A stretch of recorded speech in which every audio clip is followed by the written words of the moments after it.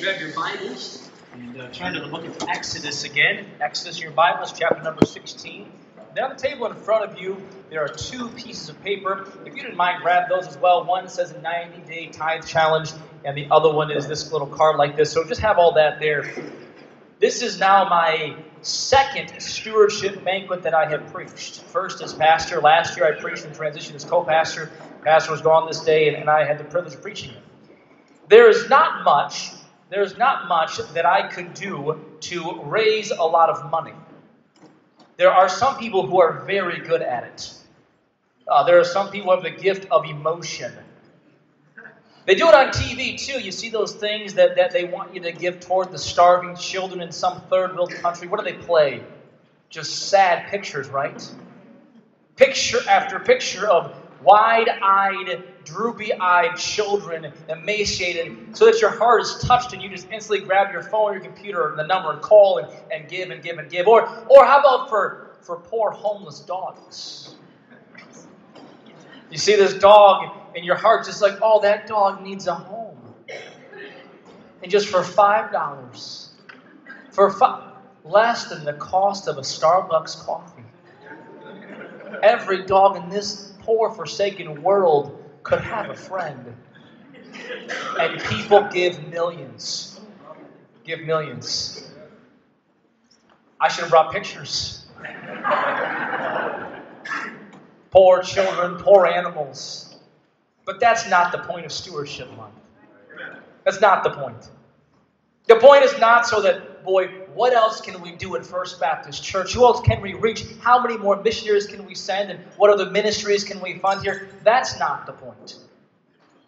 All right, we will do with what God gives to us. We'll support who we think we ought to support, and we'll have the ministries we ought to support. So, why do we have stewardship?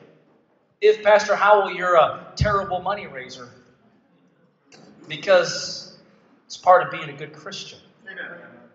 I brought a couple of testimonies that were written down. One says this I was challenged to tithe by a Sunday school teacher as a teenager.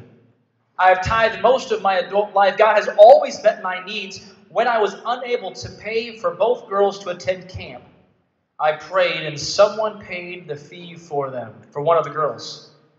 He still always provides for me. God meets needs before I know what I need. God is so good to me. That testimony could be repeated over and over and over again. Could it not? By your amens, you had that experience where God has provided for you. When we got married 15 years ago, we were committed to tithing. The Lord has blessed us. The Lord has been so good to us. We've never been in want, and our family grew. The Lord continued to bless us and provide all our needs.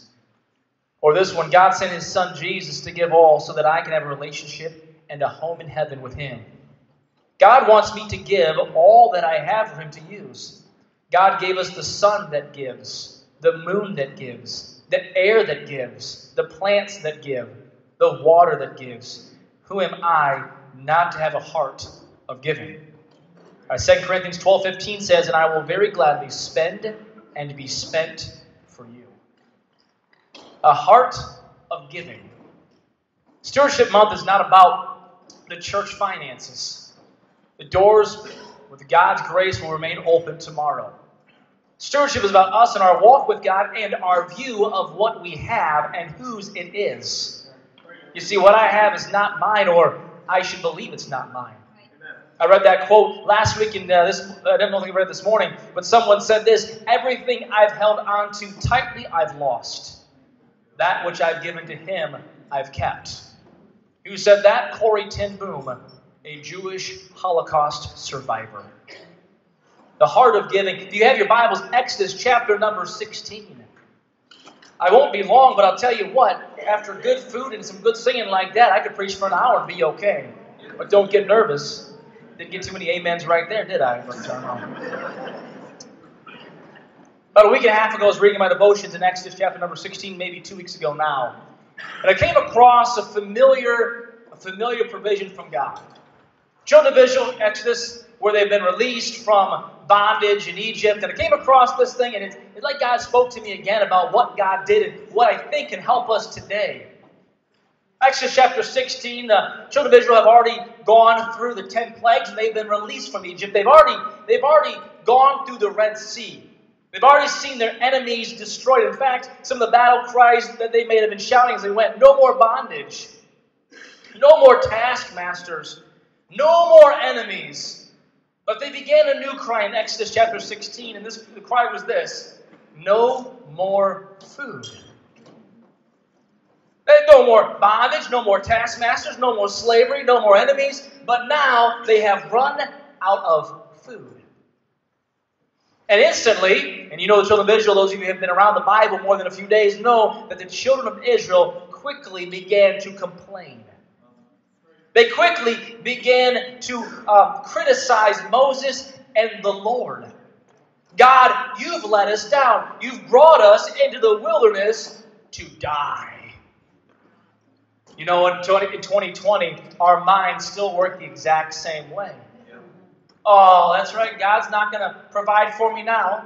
This consumer's bill I have no way of paying, and, and I'm not going to be able to pay it. They're going to turn off my gas, and, and I will die, and I'll lose my house, and I won't have a job. That's where our minds go, isn't it? Unfortunately. Lord, you've let me down now. It's almost like we think that God is perched up in heaven, waiting up for us to make one misstep.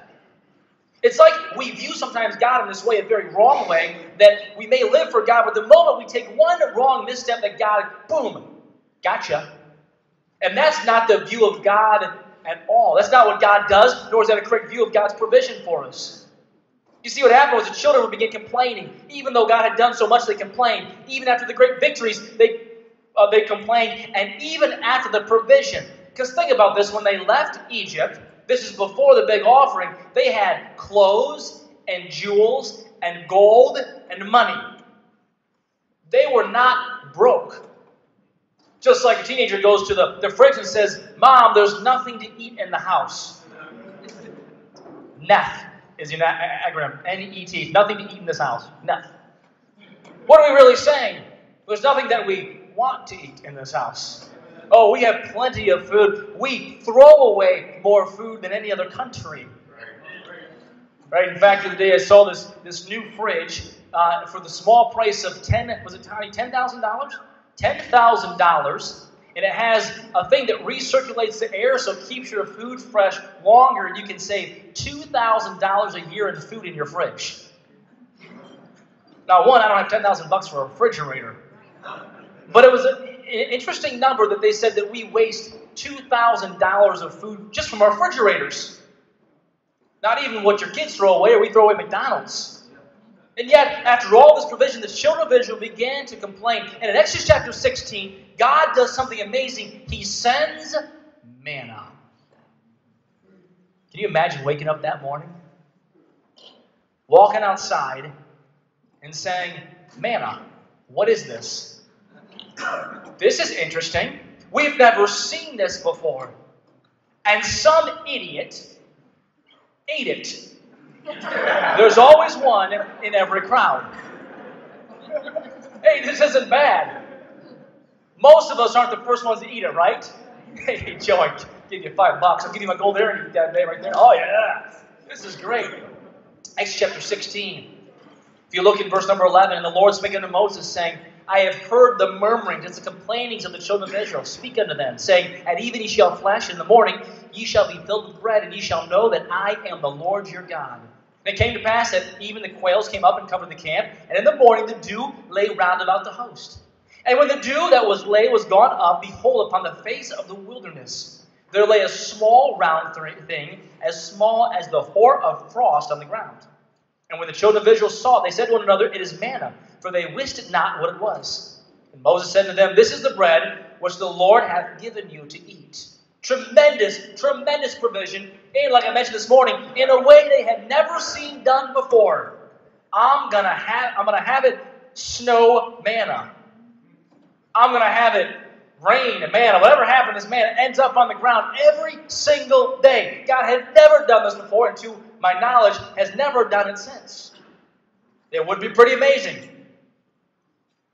But I noticed something when I was reading this. I, I noted about the complaining, and knew a note about the murmurings, and note about manna. I mean, if I say manna, most of us know what that is, or some reference of that. But if you look in verse 16, all right, um, something happened about the manna that caught my attention. This is the thing which the Lord hath commanded. Gather of it every man according to his eating, an omer for every man, according to the number of your persons, take ye every man for them which are in his tents. And the children of Israel did so, and gathered some more, some less. And when they did meet it with an omer, he that gathered much had nothing over, and he that gathered little had no lack. They gathered every man according to his eating. And Moses said, Let no man leave of it till the morning. Notwithstanding, they hearkened not unto Moses. What a surprise! What a surprise. But some of them left of it until the morning, and it bred worms and stank, and Moses was wroth with them. And they gathered it every morning, every man according to his eating. And when the sun waxed hot, it melted. And it came to pass on the sixth day, they gathered twice as much bread, two omers for one man. And all the rulers of the congregation came and told Moses. And he said to them, This is that which the Lord hath said. Tomorrow is the rest of the holy Sabbath of the Lord. Bake that which ye will bake today, and seed that ye will seed, and that which remaineth over, lay up for you to be kept until the morning.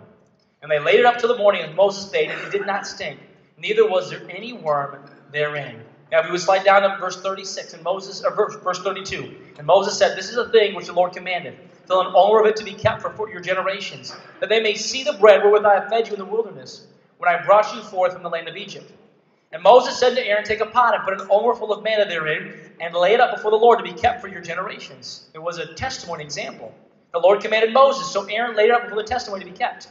And the children of Israel did eat manna forty years, until they came to a land inhabited. They did eat manna until they came unto the borders of the land of Canaan. A couple things I, that caught me that morning. The last verse says, Now omer is a tenth part of an ephah. How much is that? About nine cups. About nine cups. Everybody got about nine cups. Figure nine cups of Wheaties.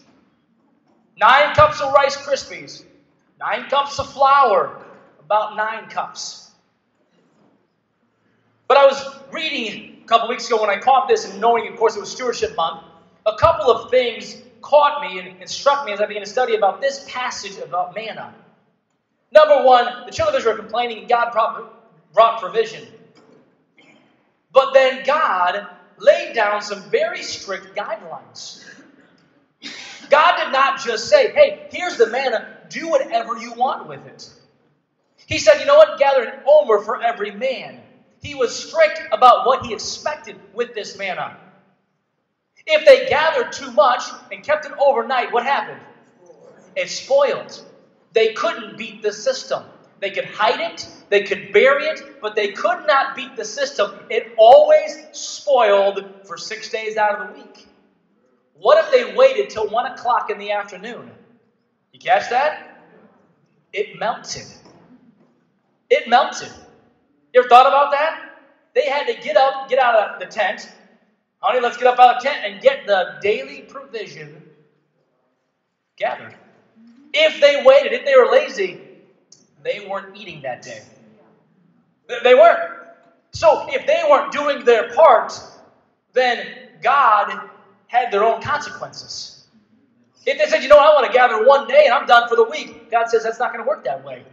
It's going to be a regular thing that you have to do. You know that sometimes when God asks those things of us, we start to complain about the about the stipulations. Why do I have to do it early in the morning? That's not fair. I don't want to have to gather early. I want to, I'm not a morning person. I'm an afternoon person. I'm an evening person. God says that's fine, but it's going to melt. Understand that eventually the children of Israel will complain about God's provision, about manna. But God, it's not fair that you would have stipulation on your gift to me. How about I tell you what I should do with what you give to me? Isn't that what we do with our money, though? God, it's not fair that you should have an expectation on me with what you give to me. I should be able to tell you what you do with what you do to me. It's convoluted thinking, is it not? Children of Israel, they had some stipulations, really strict guidelines, really strict guidelines for a gift. What if our Christmas presents were under this, these same guidelines? Here's your presents, but you must open them between here and here. If you don't, they all explode. That's not fair. They're my gift. Let me do what I want to with them. Yet God brought a gift of manna and a really strict guideline for everyone. Everyone, everyone was under the same guideline. Didn't matter how old you were or how young you were, it was the same. But then I thought of something when I got to verse 35. For 40 years, the Bible says, God provided manna. Think about this. Every morning, you got up and had to trust God. You had nothing left over from the day before except for the Sabbath day. Every other day when you got up, if God failed you, you were going hungry. If God fails you, your stomach was going to hurt that day. There'd be no food in it. If God fails you, you aren't going to have the energy you needed that day. And every single day, for 40 years, you had to get up, open your tent, and God's still faithful. Every single day. But it goes deeper than that. Parents, for 40 years, you'd have trusted God would let your kids have provision every day as well. Every single day. I know as a parent, I'll, I will sacrifice stuff for myself for the kids, as parents will do. But every day for 40 years, is God faithful today? It's there. Is God faithful today? It's there. Is God faithful today?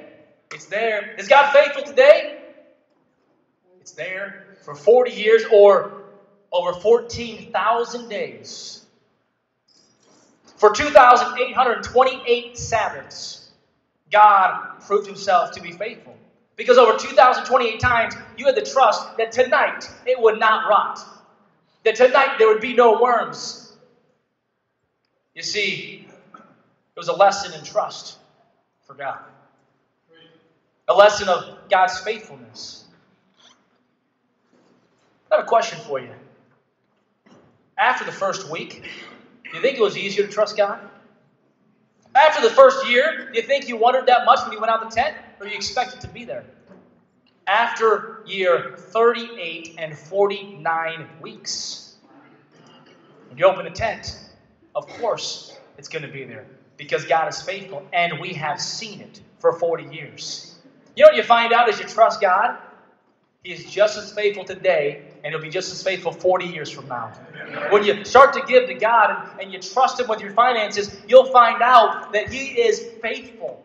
And at first, it may be the open the door, it's still there. It's still there. After 40 years, of course it's still there. God hasn't failed me yet. And for 40 years, they got to see a real life illustration about God's faithfulness. Why should we give? It's all His. That's all we get from Him. From Him. Why should we give? Because God is faithful. It's all God, so anything He asks is okay. If He wanted them to dance a jig when they got the manna, would that have been fine? If He wanted them to say certain words, would that have been fine? So if He asks for us, from us 10%, is that fine? Absolutely. Lady's husband had open heart surgery. She received a letter saying her husband inherited $1 million. She was worried about her husband receiving this news, so she called her pastor and asked him to tell the good news to her husband. The pastor went to the hospital and he said, Joe, if you were to have a $1 million, what would you do? The man responded, Well, Pastor, I'd give it to you. The pastor fell over with a heart attack.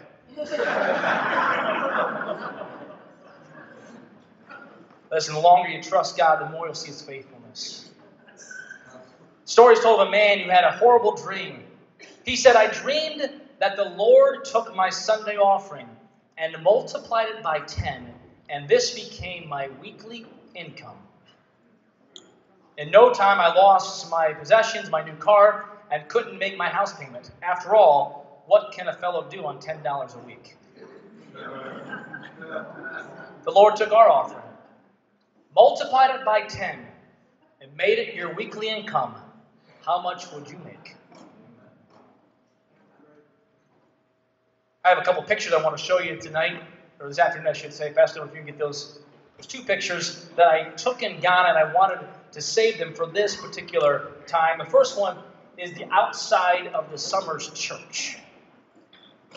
And it is a, it is a nice building for Ghana. You can see I'm in the compound, and uh, the door right in the middle there is where you kind of walk in. That's the back door right in the middle, and then the front door is right by the, where the where uh, Pastor John would stand. Um, there's no electricity inside that building. They got it wired up with a battery for their lights, and they love it. They thought of it themselves. They have a battery there. They connect the two light bulbs there, and they take it home when it dies, and they recharge it. Not the Summers, the men of the church do that. There is no plumbing at this church. I had to use the restroom two Sundays ago. When I said, so and so, where can I go to the bathroom? They said, yes, sir. Yes, sir, over there. So I walked over there, around the edge of the building, and there was my bathroom. now, if I said that to some of you, you would have a fit. Uh-huh. An absolute fit. You have a fit if, if there's no, if, if not every single sink has all the right soap at it. That morning, I, I, took a little picture from my wife and said, "Hey, I'm in the bathroom." I snapped this. It was on a wall I sent it back to my wife.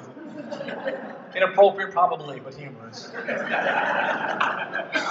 Yet you walk into that church and they have just a joyful time. A giving spirit. Because giving is not about how much you have, it's about here. I have one more picture, then you can see Pastor thanks. Right there, there's the church, there's the inside. And I took it not for the people, I took it for the blue chairs. Because the blue chairs, the church people paid for themselves. John's been very wise. We obviously support the missionaries. And they have to be careful because obviously they could do some of these things, but the church needs to do it. The church actually pays the rent for this. Pastor John does not pay the rent for it. Chairs cost about a tenth of a month's salary, he told me. Of a month. Take your salary, do a tenth of it. And they did that carefully and bought those chairs, which, by my recollection, they said would cost about 18 to $20 a piece in Ghana. Look at all them chairs. You see them down there, and they go back in the back too. A tenth of a month, and there's not that many adult males and there are females to make the money. So some people bought multiple chairs, willing to give. I was touched by that. I'll tell you why. It's for a chair. It's for a chair. They viewed their chairs as gifts. You, you, you and I view soft chairs as a, as a necessity. We used to have metal chairs in this, in this gymnasium. Metal chairs, people would come up regularly. Pastor, these chairs are broken. Kind of lean a little bit. With the idea, like, hey, Pastor, get on this. You got to get these chairs fixed. I can't sit in here in this broken chair like that. And they look taking a tenth of their month's salary to get chairs for their church. The heart of giving. I love the fact, though, it's not about what we need as a church, it's about what He gave. I hope that you have a heart of giving. In your hand or near your, your, your place there, you should have two pieces of paper. In a minute, we're going to pray and ask the Lord's help. And I would ask you to pray about two things. The first one is some of you have maybe have never, never began to tithe before, to give 10% of your income. We have their 90 day tithe challenge. Listen, if you've never begun to tithe, I don't want you for a moment to be, in a sense, embarrassed. To think, uh oh, if someone finds out I never tithe, what will they think of me? Because if I can be quite frank with you, people around it, that's the last thing you should be worried about. That is what he thinks. The second thing, if someone's not making a right decision, and then they begin to make the right decision, what is our typical response at First Baptist Church? Praise the Lord, is it not? If someone who wasn't saved got saved, do we say, Boy, you should have been saved before? If someone wasn't baptized and got baptized, what do we do? We clap. If someone who wasn't surrendered to, to the Lord then surrendered their life to the Lord, what do we do? We're excited for them. There's no context that you should be ashamed. If someone said, Listen, Pastor, I got to admit, I've, I've never been a tithe, I've been too afraid then would you take the 90 day tithe challenge without fear, without anyone thinking, listen, what will they think of me? Now, I have not looked at giving records. I do not know in this building who ties and who doesn't tie. Even if I happen to look at the giving records, I wouldn't know that because I don't know what you make. But this is about God, not about me. So if you've never begun a tithe, I would encourage you to look at that 90 day tithe challenge and take the challenge, once again, not for my sake, not for the sake of First Baptist Church, but for your sake and God's sake. The other card is if God has maybe touched you and you would increase your weekly giving. I would ask if you already give, if everyone could fill out this second card. And the uh, maybe you're not increasing your weekly giving at all, that's all right. That's between you and the Lord. Once again, I'd be a terrible person to raise money. I have no pictures of, of sad dogs or sad children. But that'll help us with a budget for First Baptist Church. And if you say, I'm not increasing anything, that's fine. You, you see, there's no place for a name on there. You see that? There's no place for a name on the, on the increasing thing. Doesn't matter. But if God leads you to increase, write that down, and then your, your total weekly giving would be that'll help us. But I would just ask that you ask the Lord what to do. That's who we answer to. Not to me, not to people around you. Lord, I thank you for your word. Lord, I thank you for what you give and have given to us. Lord, you are so good. Your provision is never failing. But show the visual, saw it, Lord. We see it in your word. I've seen it in my life. I know that we could give testimony after testimony of folks in this room who have been touched by your faithfulness. Lord, help us to be faithful. Help us to be honest with what we have and what you have. I would encourage you just a minute now with, with our heads bowed and maybe begin begin to pray and ask God what He would have you to do. If the Lord's touched you then and you want to and if you'd be willing to fill out those those things, if you never began to tithe, to take the 90 tithe challenge, I would encourage you to do that. Or if you're going to increase your giving, or if in general you give, we can have that number as well. That would be tremendous. If you could fill those out for us in just a moment, an offering. Let's just take a moment, talk to the Lord about that.